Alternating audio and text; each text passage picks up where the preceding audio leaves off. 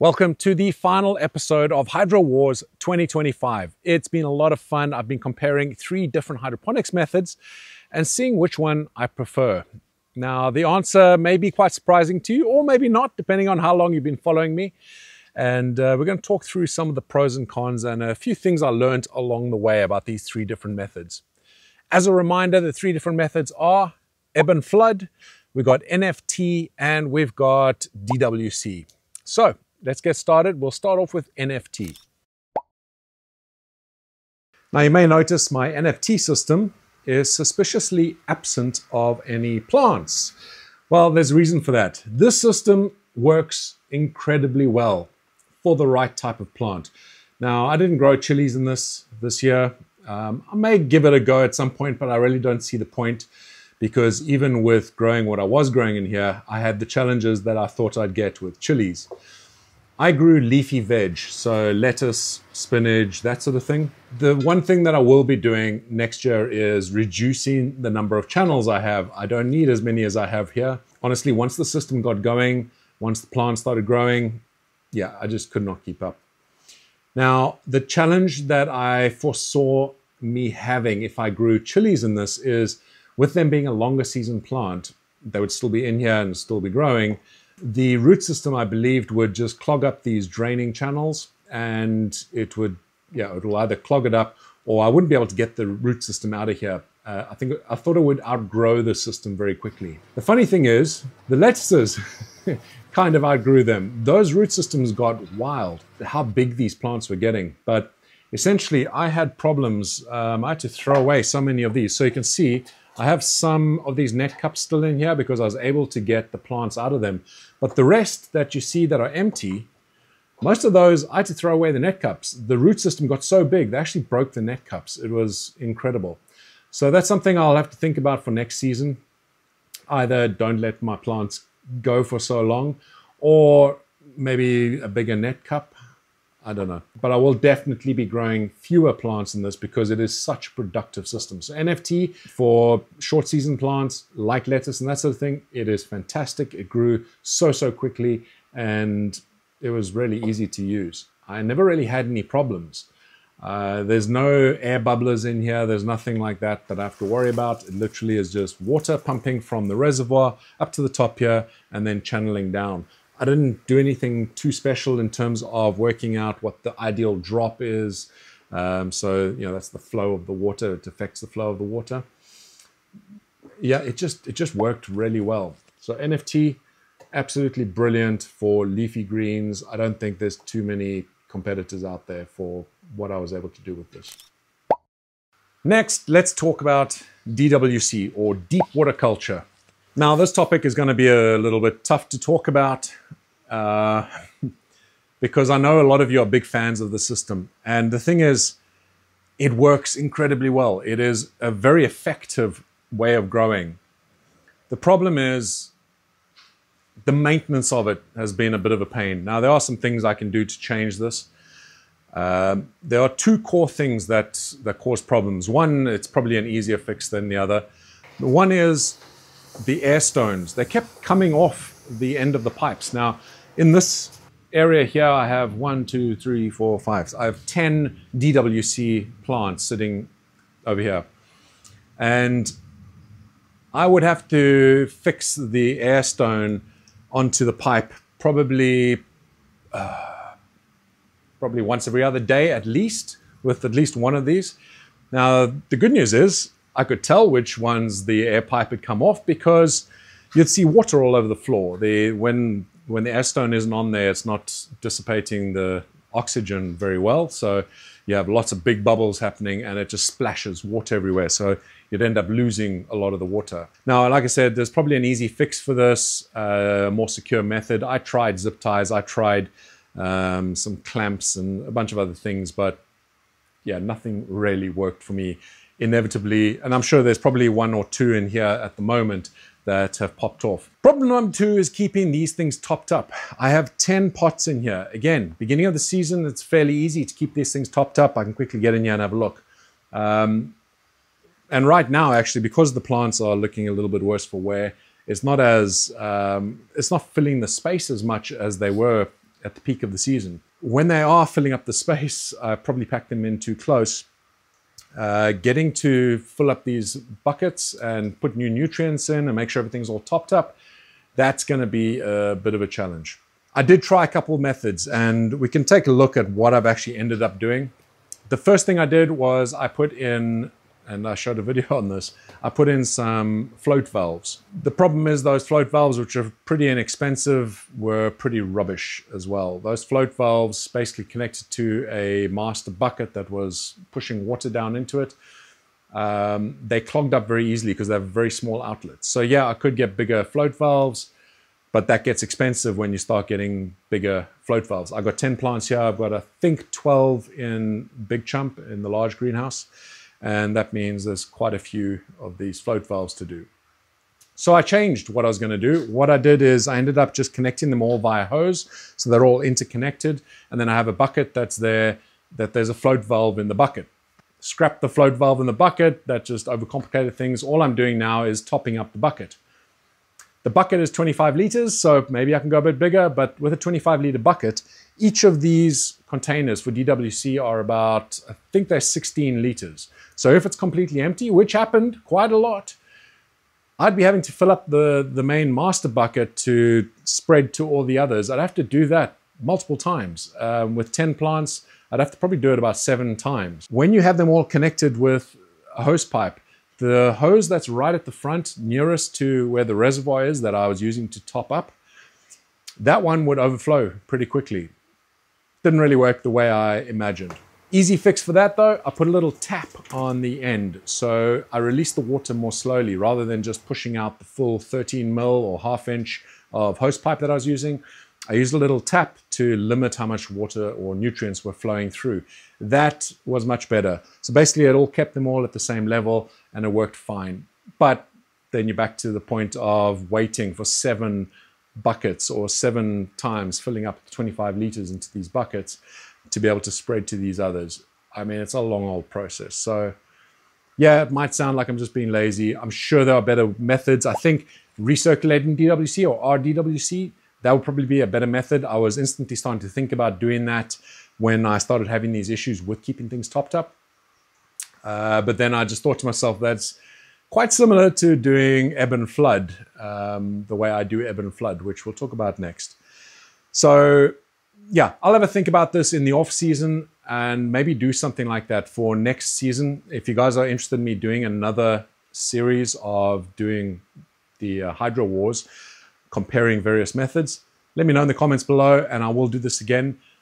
Regardless, I will be playing around with hydroponics anyway. If it's for my own purposes, then fine. If you guys want to come along for the journey, let me know down below. But DWC works incredibly effectively.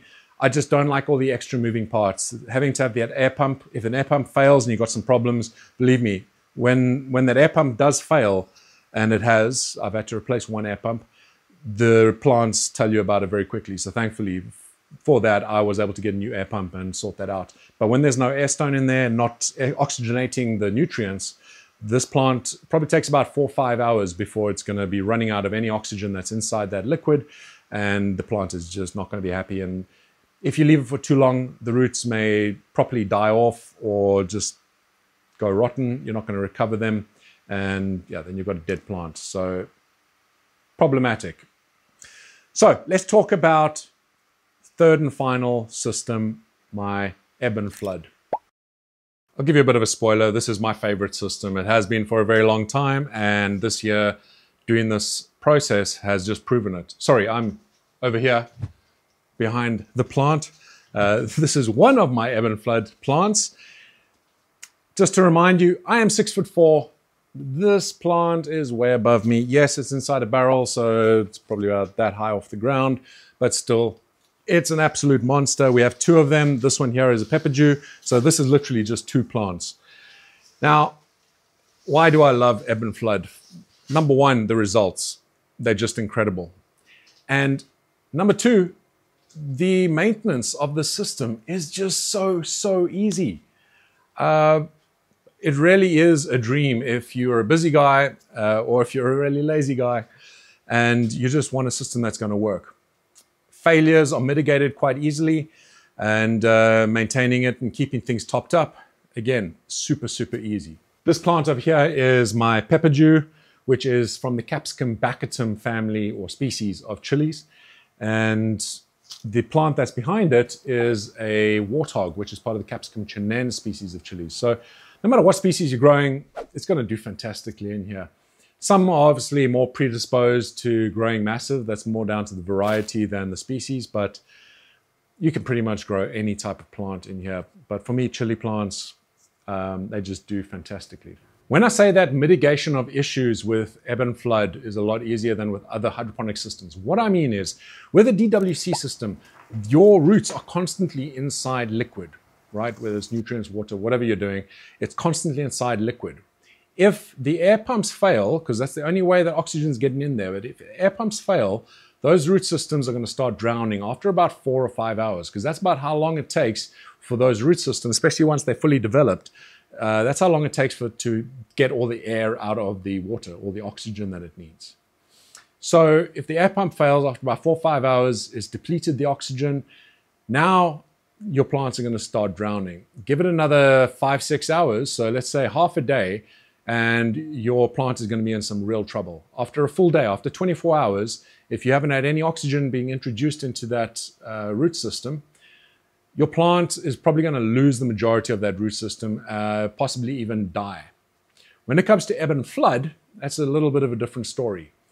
If the pumps fail, if electricity goes out for 24 hours, these plants are not going to look very happy. They'll be droopy. The leaves will be just looking very, very miserable. But as soon as I get the pumps up and working again, once the electricity's back on, and I run one or two cycles through it, these plants will come straight back. They'll be almost back to normal without any significant issues. The reason for that is the way that ebb and flood works is it's flooding the system and you're using a substrate like, well, what I'm using is uh, Hydroton, which are little clay balls. It's flooding that system. The Hydroton maintains some air inside it. It's very porous, but it also absorbs a little bit of the nutrients, the liquid that's there. Once the system ebbs or drains away, it's going to pull oxygen down into the substrate, plus those little clay balls obviously have oxygen as well. So it's going to pull fresh air down into the root system, but the roots are going to maintain a little bit of moisture. Now let's say that the pumps fail and it doesn't flood the system again for 24 hours. Those root systems are going to use up all the moisture that's in there. They're going to get dry, but they're not going to drown. So those roots will get very, very dry. Listen, if it takes like two or three days for you to sort this out, yes, that root system is not going to be happy and you might lose a lot of it, uh, possibly even kill the plant. But hopefully, you're going to be checking in on your plants uh, more often than uh, once a day. But when you do cycle it back again, that the roots will just drink up that liquid. It'll drink up the um, the nutrients, and also more importantly, you're going to get uh, water and oxygen back to the root system, and your plant will just get back to normal again. Now, there is one caveat to that. If your electricity fails or your pumps fail during a flood cycle, then you're going to have problems. And that's why there does exist uh, certain ebb and flood systems that work via draining using gravity, so using a bell siphon, things like that. I don't do it that way. I have done it in the past. I've got some videos showing a bell siphon working, well, similar sort of system to a bell siphon. And that is probably far safer and you'll have less chance of this happening. So yeah, from a risk perspective, I think the least risky system here is the uh, ebb and flood system. Let's take a look at my larger ebb and flood system. This works on the same principle as the ebb and flood system that I just showed you, the one that I built myself. This one here is um, it's one you can buy off the shelf, or you could buy off the shelf a little while back. I have modified it slightly, and I will be modifying it again for next season just to make the spacing a little bit better. But essentially, we've got one massive reservoir over here, and uh, that there is keeping all these plants alive. We have about 40 plants in here, and this here is a thousand liter tank. Now, I probably could have done with an even bigger tank than this, surprisingly, but uh, it's doing a it's doing a fantastic job. The plants in here are super healthy, and again, it's using the exact same system. It's flooding the substrate and then draining it out on a timer and flooding back into the reservoir pretty straightforward. So I don't think it's too much of a surprise that Ebb and Flood has won, in my opinion, this year. Uh, it's still my absolute favorite way of growing hydroponically. Uh, it just ticks so many boxes for me from the ease of use, um, the ability to handle problems very easily, and the results. I mean, just take a look at these beautiful plants. And of course, my monsters that are inside there. Now, the system that I have inside my large greenhouse, I will be expanding that next year. We'll be putting in a few more tubs, exactly the same as I have there for my monsters there. So expect to see a, quite a few more massive, massive plants down that way.